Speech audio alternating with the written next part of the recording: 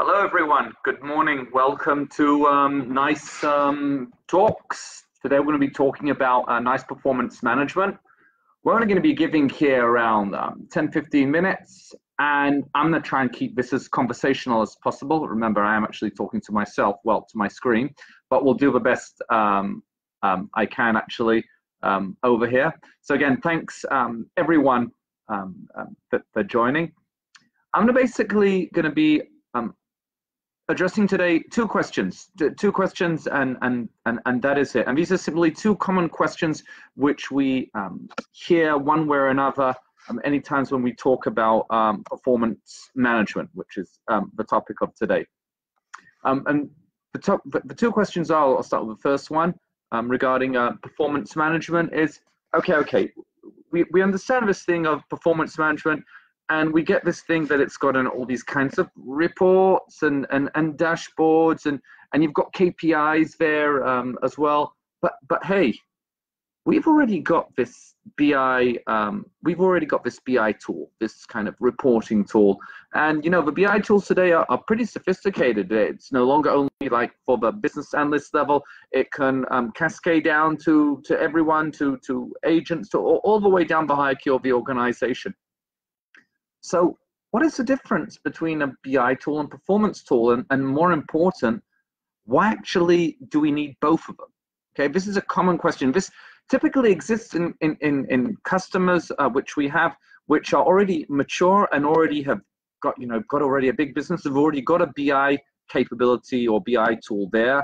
And many times a lot of rejections um, from the analysts saying, hey, look, we've got all these reports, we've got all these dashboards, we don't need this in order to understand performance.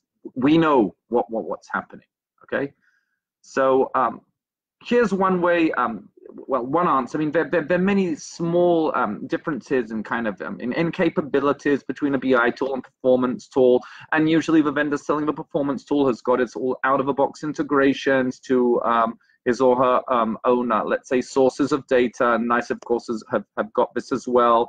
Um, they've got strong ETLs and, and everything's great. So, but, but that's that's if you're like kind of new to the whole idea to the to the to, to, to the business. But if you already got something there, I guess this would be the answer, and this is it. In essence, BI tool is focused on providing the data. It provides data. It doesn't matter who it's to. It's if it's to the analyst, which he can then go ahead and drill down into it, or even if it's down to the agent level. But they're in the business of bringing the data, highlighting kind of where the problem is. You know, highlighting, giving like um, a, a KPI and everything, and showing where the problem is. But where performance management comes in, it does all that, and then it tells the agent and the supervisor, okay, okay, this is where you need to focus on in order to up the performance. For instance, the system may say the KPI of CSAT is down. And maybe even, you know, the solution will say, and and and the, the CSAT is down um, for this specific team, for, for let's say for Donna's team, and and and the issues that exist specifically for um, around John CSAT and in these specific interactions. So that's where you should be focusing on. Great.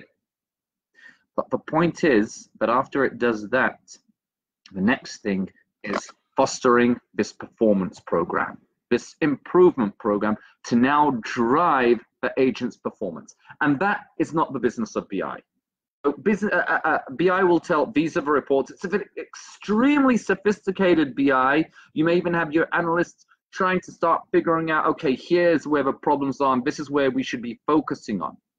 But the entire process of the focusing, of having the program, which starts to focus on the improvement of the agents. Okay, we need to now take this specific agent or this specific team of agents, and we need to create for them a program, which means that they're going to be doing coaching. To be coaching them twice, three times a week, and we're going to be um, providing them with online learning and trivia, and we're going to be monitoring how this um, helps um, their, their how it affects their KPI. I'm going to be adding into it gamification concepts, uh, concepts in order to have them being more engaged. I'm going to be focusing on specific behaviors because the behaviors drive the KPIs. And in future times, the, the system will, in future plans, the system will even recommend what are the best behaviors and the best tasks to give specific agents based on previous results. And when the program ends, we'll be able to monitor that program's effect. That entire um, um, driving of the agent's performance or the team's performance, that is not in the scope of a BI tool. So BI is great. And many, I mean, all organizations should have a BI tool. But there's many times we hear this question is, what is the difference basically between a BI solution and a performance solution? So now you know. A BI solution basically takes you up to the stage of understanding kind of where the problem is. Or if it's really, really um, strong, you've got a really, really strong, um, um, strong team, even to take you, this is kind of where you need to focus. But the entire notion of the focusing of of uh, of taking it above the focus, meaning focusing now on the program in order to improve the performance, that is not in the core business of BI tools. So now you know. That is kind of the first question, and that's the first questions which I wanted to um, address um, today, kind of the difference between performance and BI. The next question, which we sometimes hear, and this is from customers who have already a certain um, evaluation or quality management processing um, in the organization. And, and most organizations today definitely take calls, um, do quality. Um, the sheer bulk of them, let's say around 75%, still do random quality, meaning they evaluate the interactions of their agents. Most of them are still phone calls, so they evaluate, even though that there's a lot of multi-channel.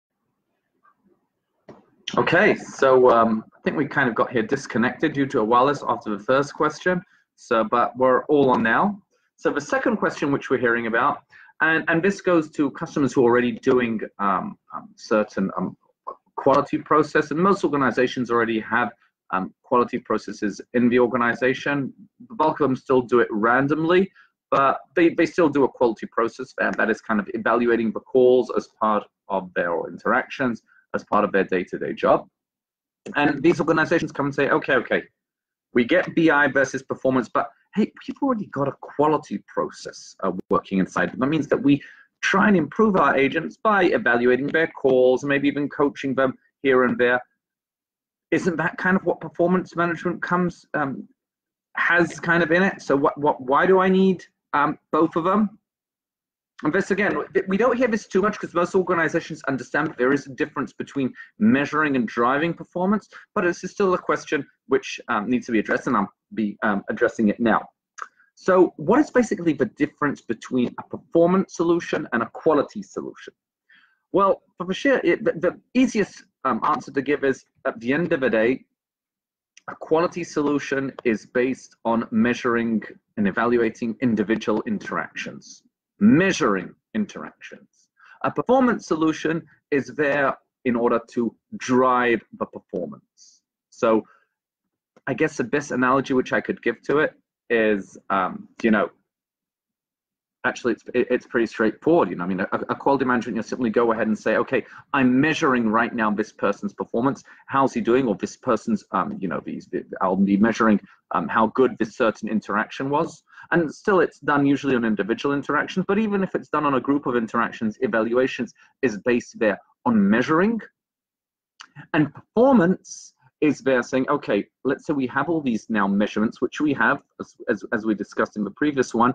Driving is going to be saying, okay, now we're going to start looking at how do we drive this performance forward? What corrective actions do we need to take? Sorry about the terminology of corrective actions, but what do we actually need to take in order to a person's performance forward? Okay, so one is kind of again on measuring, the other one is on improving.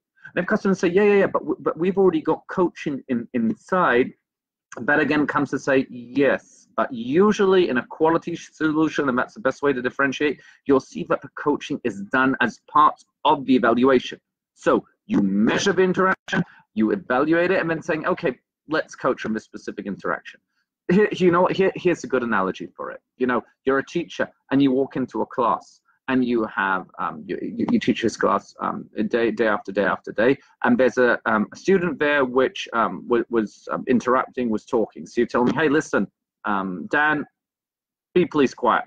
Okay, please be quiet. Okay. Now, what you've done here, if you've solved the problem, well, you kind of did it right now. I mean, he won't be talking for the next five minutes. But maybe Dan has got a larger problem. Maybe he doesn't understand what you're talking about okay maybe he's got a, um, a personal problem right now so um, maybe he's not working too well with a guy sitting next to him. Maybe he's got trouble paying attention. And I guess what I'm saying is telling a student, okay, just please be quiet. That's kind of like putting a plaster, putting a patch on a problem now. It's not taking care of the entire issue. It's not changing a behavior. And a performance solution is focused on an agent in order to change their behavior. Performance solution is focused on an agent in order to change their behavior. And that is not a one-time process. That's an ongoing program which has got a beginning and an end. If you're there just to measure, that's fine. And that's why many times another way to look at it is evaluations and, and quality management. That's mainly in order for managers, in order to understand the level of um, you know, the, the, the, service which they provide so they can understand kind of a high level. But if you want something which is focusing on the agent in order to improve them, that's where performance come in. And, it's extremely important, guys, because you know today just to, to share some facts, um, um, statistics with you. Everything to do with driving employee performance is very, very important for their engagement as well. Okay, there's approximately a 40% attrition rate um, in a standard contact center day. If you look at a 2,000 um, agent contact center, they are paying their $3.2 million annually on direct costs because of that. Okay, so there's a great deal here of putting, um, you know, putting time or, or making sure that you're focusing on the agent. And you need to make sure that you're focusing on the right thing because, again, I mean, approximately 50% of coaches' time, of, of supervisors' time, is spent on coaching. What is the ROI on that? Does it work? Doesn't it work? And that is stuff which performance management solutions do. So, just kind of sum these two topics up. What's the difference between a performance solution and BI solution? Well, in a nutshell, performance solution takes the BI to the next level. It not only measures and provides the data and gives you the ability to understand where a problem is, it also takes you through the path of improving, of driving an agent or a group of agents' behavior. But it's something which is not in the scope of BI. And how does it kind of relate uh, performance management solution and a quality management solution? Well, quality management is there mainly for measuring. It's there for providing the data, understanding what interactions are going well, what interactions are not going well. A performance solution says, okay, we've got now these measurements. Let's now see how we improve, how we change the behavior. That is very, very important because it puts the focus, as we said, on the agent.